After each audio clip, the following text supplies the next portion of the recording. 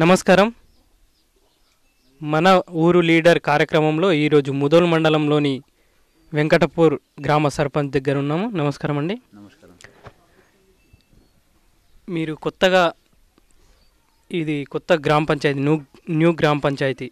మరి కొత్తగా ఎన్నుకోవడం జరిగింది సర్పంచ్గా. మీకు ఎలా అనిపిస్తున్నది?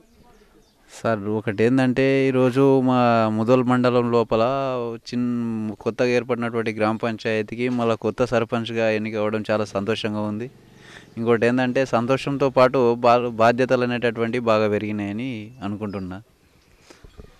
మరి మీరు టెన్త్ ఇంటర్ మీరు ఎక్కడ చదివారు? టెన్త్ వచ్చేసి మా పక్క విలేజ్లో ఫిఫ్త్ క్లాస్ వరకు మా ప్రైమరీ స్కూల్ అనే మా విలేజ్లో ఉన్నటువంటి ప్రైమరీ గవర్నమెంట్ స్కూల్ అని చదువుకున్నాము. ఇంటర్ మా టెన్త్ క్లాస్ వరకు పక్క విలేజ్ ఎడ్బీడ్లో జడ్పిహెచ్ఎస్ హై స్కూల్లో పదో తరగతికి పదో తరగతి eighty two percent eighty four percent marks తోటి నేను పాస్ అయ్యాను. టూ థౌజండ్ టూ బ్యాచ్ అనేది అదేవిధంగా ఇంటర్ వచ్చేసరికి అంటే స్థానికంగా ఉన్నటువంటి బైన్స పట్టణంలోని సరస్వతి జూనియర్ కాలేజీలో ఇంటరు. అదేవిధంగా ఆ తర్వాత డిగ్రీ లక్ష్మణ్ చంద ఎస్విజి డిగ్రీ కాలేజీలో బీఎడ్ చేశాను. బోధన్ సెయింట్ థామస్ కాలేజీలో బీఎడ్ ఎస్ఆర్ఎం పీజీ కాలేజీలో కరీంనగర్లో బిఎస్ ఎంఎస్సి కెమిస్ట్రీ చేశాను.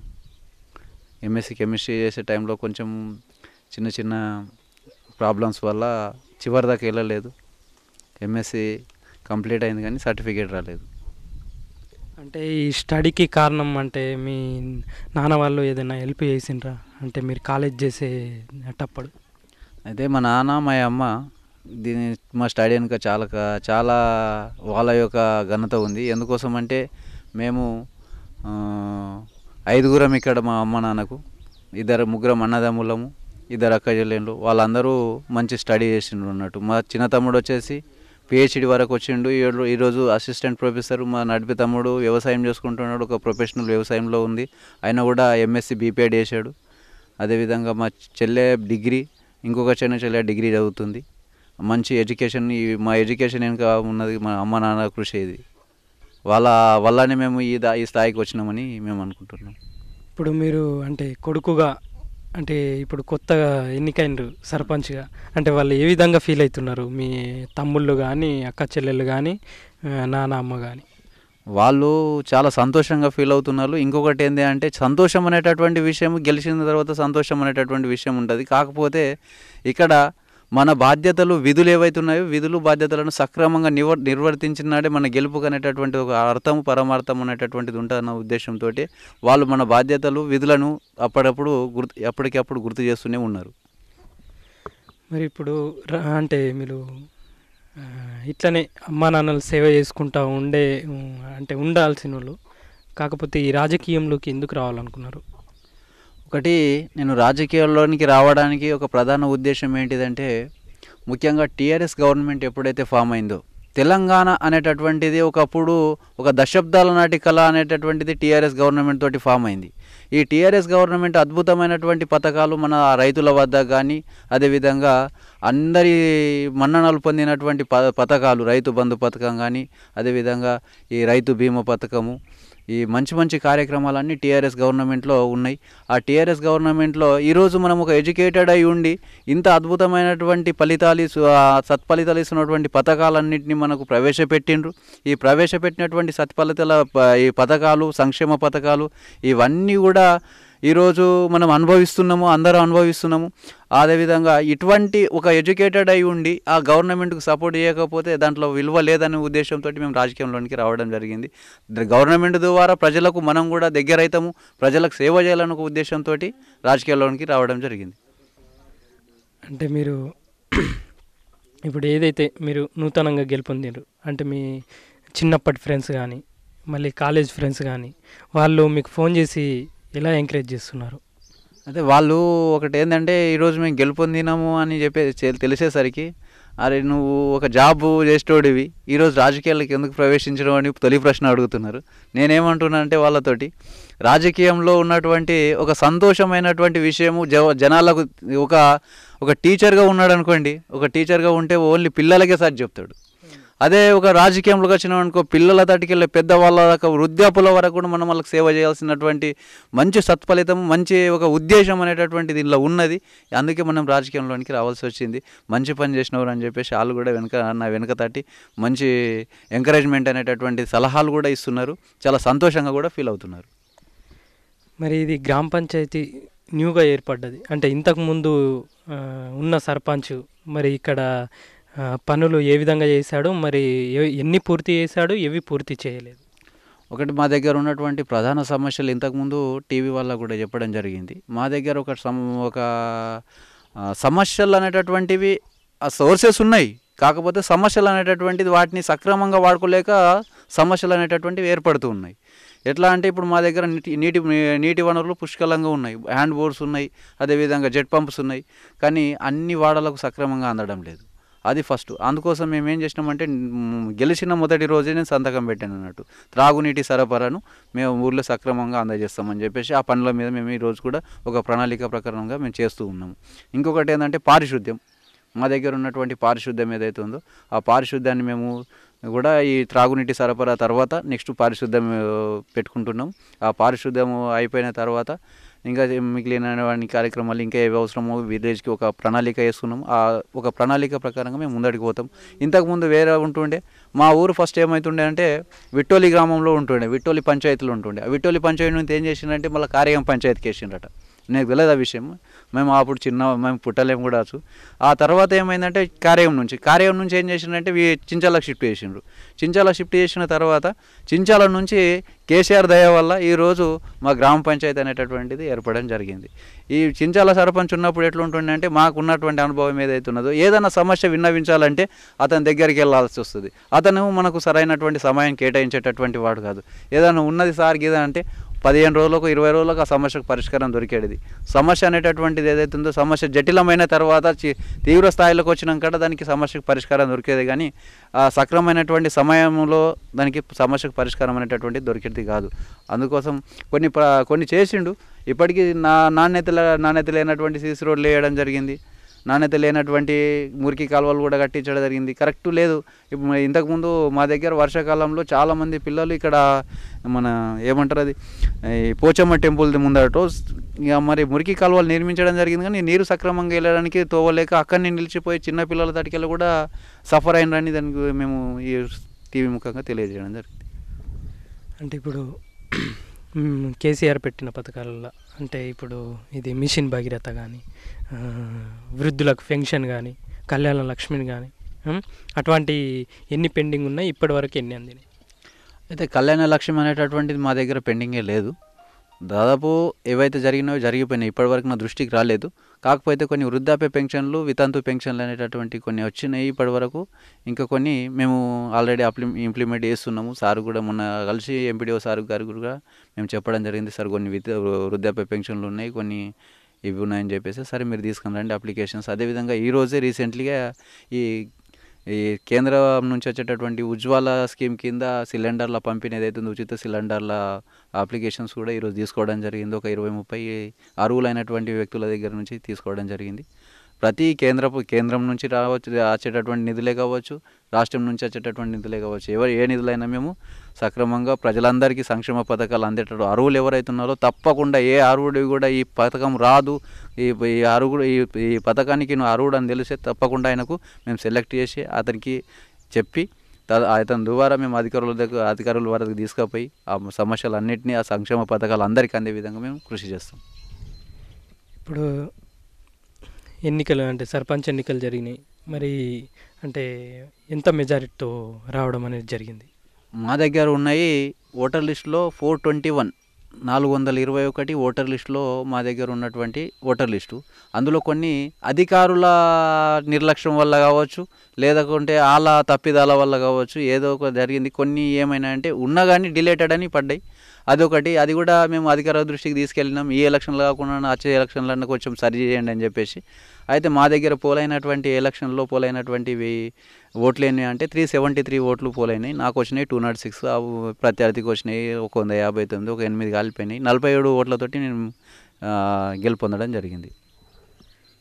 ఇప్పుడు అంటే ఇప్పుడు ఈ గ్రామాన్ని ఎలా తీర్చి తీర్చిదిద్దుతారనుకుంటున్నారు? అంటే ఏ విధంగా అభివృద్ధి చేస్తారంటున్నారు ఒకటి గ్రామంలో అభివృద్ధి అనేటటువంటిది జరగాలంటే ముఖ్యంగా మీ గ్రామస్తులు ఏం చేసిందంటే ఓటర్లు అందరూ అంటే గ్రామంలో ఉన్నటువంటి ప్రజలు ఒక మంచి చేయాలనే ఉద్దేశంతో ఉన్నారు కాబట్టి ఈరోజు నేను ఎంఎస్సి బీఎడ్ చేసినటువంటి వ్యక్తినైనటువంటి వ్యక్తికి ఈరోజు గ్రామ ప్రజలు మరీ దగ్గరుండి గెలిపించుకున్నారు. అయితే నేనేమనుకుంటున్నా అంటే యువకులందరికీ యువకులకు నేను కూడా ఒక యువకుని యువకులందరికీ ఒక ఛాన్స్ ఇచ్చినట్టు గ్రామస్తులు నేను భావించిన. అయితే ఒకటి ఏంటంటే ఈ రెండు మూడు రోజు రోజుల లోపల ఈ వారం రోజుల లోపల నేను కూడా ఒక కేసీఆర్ లాగా ఒక సర్వే నిర్వహించుకుంటున్నాము. సర్వే నిర్వహించుకొని సర్వేలో ఎవరెవరైతే అర్హులు ఉన్నారు ఏ ఏ దానికి ఏ ఏ పథకాలకు ఎవరెవరు అర్హులు ఉన్నారు అటువంటి డబుల్ బెడ్రూమ్ స్కీమ్సే కానీ ఆల్రెడీ ఎమ్మెల్యే సార్ తోటి మాట్లాడడం జరిగింది. మన స్థానిక ఎమ్మెల్యే అయినటువంటి విఠలరెడ్డి సార్ తోటి మాట్లాడడం జరిగింది. ఈ డబుల్ బెడ్రూమ్ ప్లాట్స్ కానీ అదేవిధంగా రైతు బంధు కొన్ని అడ్ అందలేవట. ఒక మూడు నాలుగు అందలేవు. ఆ రైతు బంధు పథకాలు కానీ అదేవిధంగా ఈ వృద్ధాప్య పెన్షన్లు వితంతు పెన్షన్లు ఒంటరి మహిళ పెన్షన్లు అదేవిధంగా వికలాంగుల పెన్షన్లు కూడా కొన్ని నా దృష్టికి వచ్చినాయి ఒక మూడు నాలుగు. ఆ వాటిని అన్నింటినీ కూడా సక్రమంగా నేను ఒక సర్వే నిర్వహించుకొని ఎంతమంది అర్హులు ఉన్నారు ఎంతమంది కొందరికి ఏమవుతుందంటే అనర్హులైనా కానీ పెన్షన్లు వస్తూ ఉన్నాయి.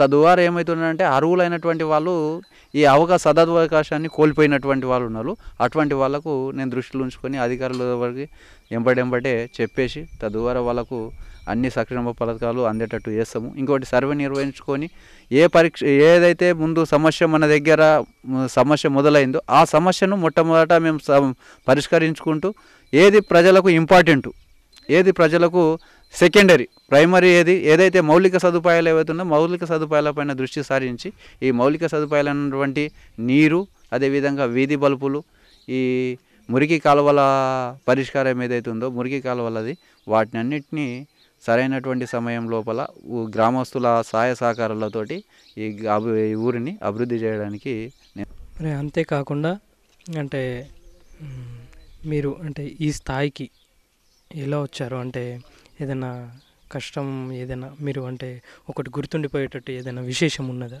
మీ కుటుంబంలో కానీ మా కుటుంబంకి ఈరోజు మా ఊళ్ళో ఒక గౌరవ మర్యాదలు అనేటటువంటి ఉన్నది మా మన మా తాతలు ఇద్దరు అన్నదమ్ములు.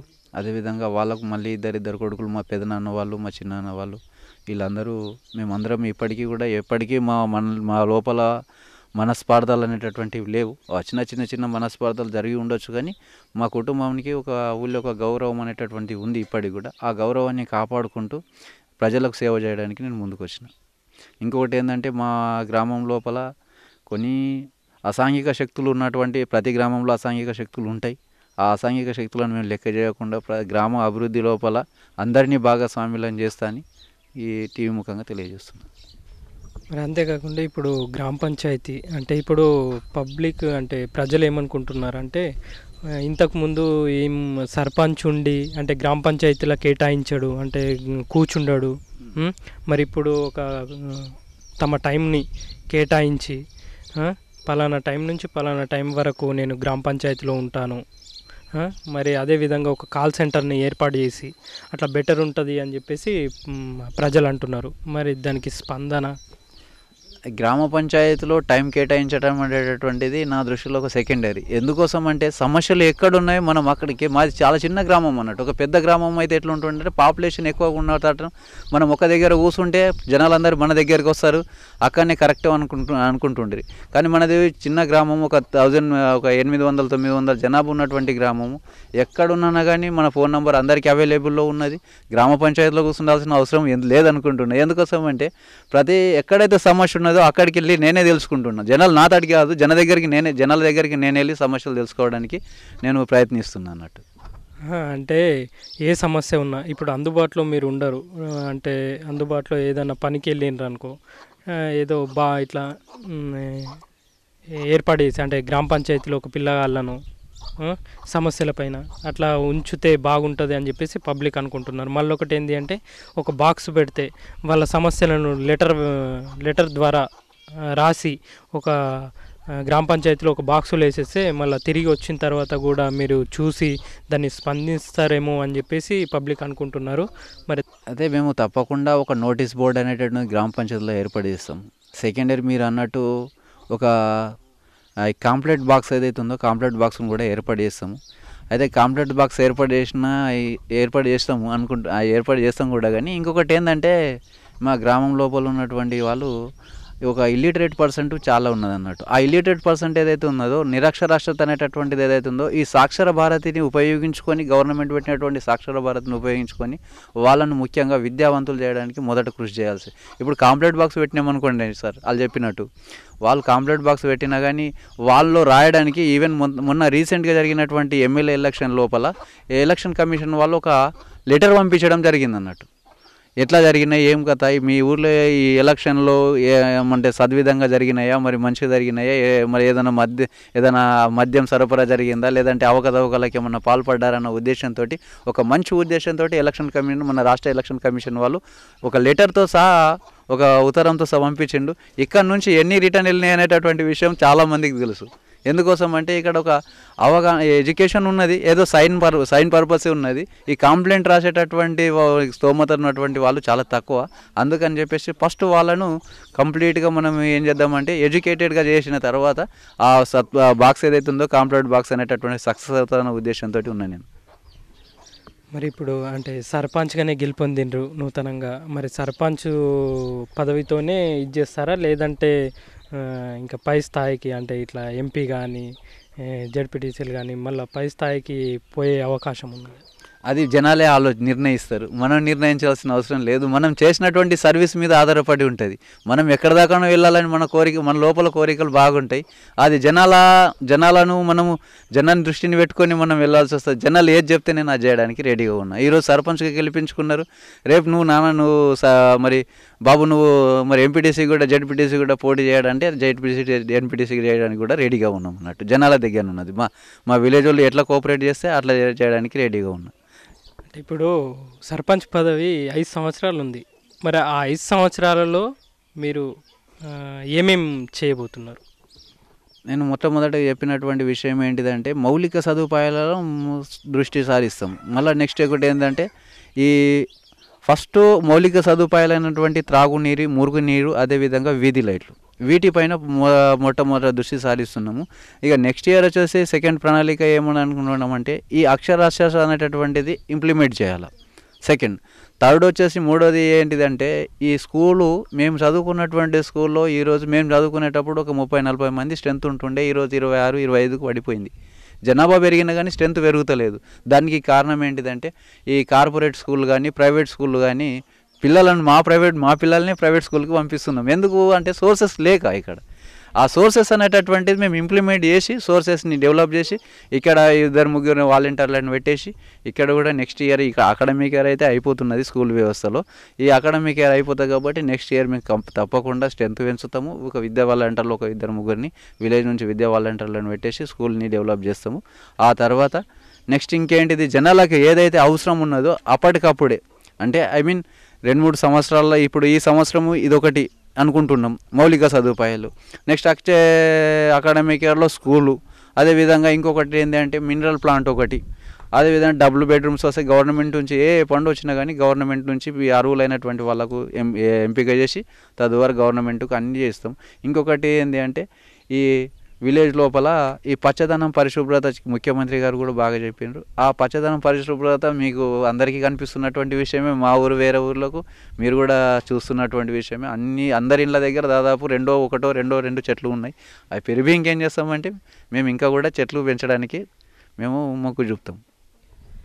ఇప్పుడు ఎమ్మెల్యే ఫండ్స్ కానీ కేసీఆర్ ఫండ్స్ కానీ ఏదన్నా వచ్చినాయి ఇప్పటి వరకు ఉన్నాయి ఈ గ్రామంలో?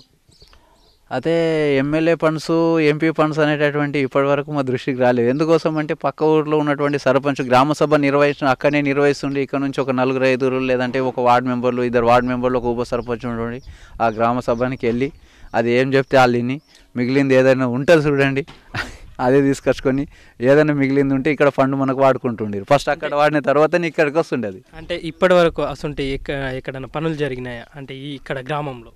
అయితే కొన్ని సీసీ రోడ్లు వేయించడం జరిగింది. ఇక వాళ్ళకి ఎట్లా అంటే ఇక అడిగేవాడు మన ఎదిరించేవాడు లేకపోతే బెదిరించేవాడిది రాజ్యం అయితే అన్నట్టు నడిచింది ఇన్ని రోజులు. ఎదిరించేవాడు వచ్చినాం కాబట్టి ఈరోజు మాది మాకు వస్తున్నది కాబట్టి మేము మాది మాకు వచ్చింది కాబట్టి మేము ప్రతి ఫండ్ ఈరోజు వచ్చిందా మేము నోటీస్ బోర్డులో అతకబెట్టేసి ఈరోజు ఇది వచ్చింది. దీన్ని మనం ఎక్కడ ఇంప్లిమెంట్ చేస్తే కరెక్ట్ ఉంటుంది అనేటటువంటి ఉద్దేశం ఒకటి జనాల లోపల తీసుకుపోయి అందరి అభిప్రాయం మేరకే ఆ పనిని అక్కడ మేము చేయడం చే- చేయించడానికి మేము ముందటికి ఉంటామని చెప్పి చెప్తున్నాం. ఇంకొకటి ఏంటంటే మా దగ్గర ఒకటి అగ్రికల్చర్లో చాలా అభివృద్ధి ఉన్నటువంటి గ్రామం ఈ పక్క విలేజ్లలో పోల్చుకుంటే మా ఊరిలో అగ్రికల్చర్ చాలా మంచి డెవలప్మెంట్ ఉన్నది ఇక్కడ. ఆ డెవలప్మెంట్ అనేటటువంటి మరింత ఇంకా ముందుకు తీసుకోవాలనే ఉద్దేశంతో ఒక ఒక సంఘం రైతు సంఘం అనేటటువంటిది ఒక ఏడెనిమిది మంది మెంబర్స్ని పెట్టుకొని మేము ఒక రైతు సంఘాన్ని ఏర్పాటు చేసుకొని ఎప్పటికప్పుడు సమీక్షించి మాకు కూడా ఏఐ గారు రీసెంట్లీ మా విలేజ్కి సందర్శించడం జరిగింది. అగ్రికల్చర్ ఏఐ మా అతను కూడా ఒక రెండు మూడు మీటింగ్లు కండక్ట్ చేసి రైతులందరినీ ఏకపక్షం చేసి అలాని కూడా చైతన్యం చేసి ఈ ఈ రసాయన మందుల వాడకం ఏదైతుందో వాటిని తగ్గించేసి వాటి స్థానం లోపల ఏదైతే మన ఇప్పుడు ఈ కృత్రిమంగా తయారు చేసుకున్నటువంటి సహజ ఎరువులను అదేవిధంగా వాటిపైన అవగాహన సదస్సు కూడా ఏర్పాటు చేయడానికి ముందుకొచ్చిండ్రు. రెండు మూడు రోజుల లోపల అది కూడా కార్యక్రమం జరుగుతుంది. మరి అమూల్యమైన తన మాటలు విన్నాం కదా. రేపటి కార్యక్రమంలో మరొక సర్పంచ్ని కలవబోతున్నాం.